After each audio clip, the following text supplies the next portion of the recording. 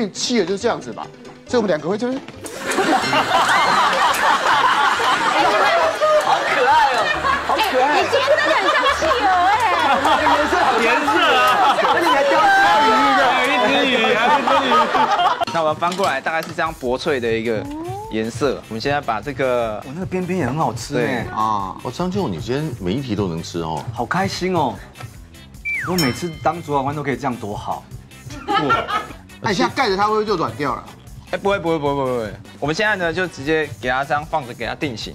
我另外准备了一个用西瓜，哎然后搭配这个两种西瓜对对对对，两种西瓜。然后我刚刚说的是什么呢？就是西瓜哎，因为颜色上的选择，还是因为哎，对，颜色上的一个交错。然后我们再把它做一个炙烧，炙烧。哎，你算是我们这些师傅里面西瓜用量最大的。哎，真的哎，是是是是是。这边这边这边你们都被他吸引走了，我的四肢也很厉害啊。没有，因为我们转过来只有一颗，我们再转回去。真的真的我有加料，我有加料，不要不要这样子哦。你有没有这么现实？好了，那我们这个再继续看，再继续看。好，这边已经做到西瓜这边了，那我们现在准备再看一下了。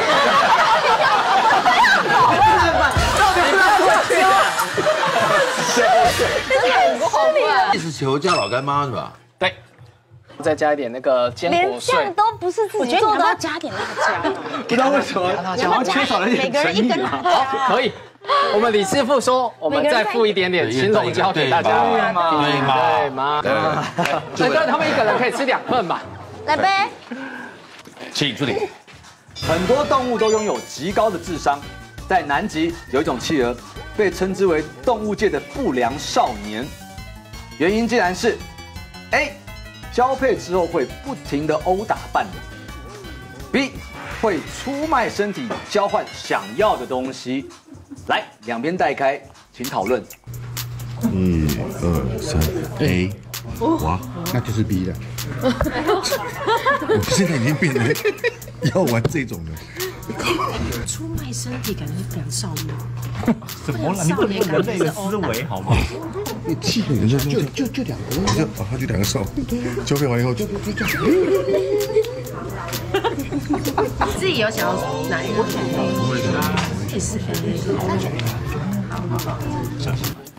所以他年轻人因为想这个，哎，对面的搞啊！他们两个好开心哦，他们两个好开心，我不知道为什么。我们换个风水，对，好好好，傻傻的你，来 准备，请举牌。又不一样哦。会选 B，本来我们是选 A 啦。对对，就是两个两个交配完之后啊，对就其实不是殴打，因为企鹅就是这样子嘛，所以我们两个会就是。好可爱哦，好可爱你。今天真的很像企鹅哎！颜色好颜色啊，而 且你还雕鲨鱼的。还有一只鱼，还有一只鱼。因为我们觉得这个动作荒谬，是不是？我们就逆向思考。好，哇塞，哇，很紧张。尴尬了哦。答案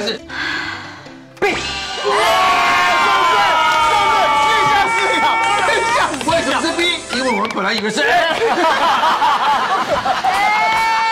为什么？为什么？生长在南极的阿德利企鹅与人类的社会相似，以群体的方式生存，需要收集石头来建立自己的家园。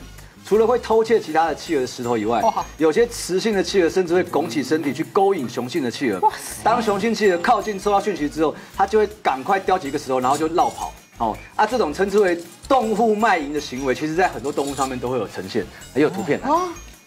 所以是母企鹅。这种企鹅是动物界的霸凌高手。对，当他们去一个地方要捕鱼的时候，他们先踢一个同伴下去。哇塞，哦，这种帅气是被踢下去的。哇！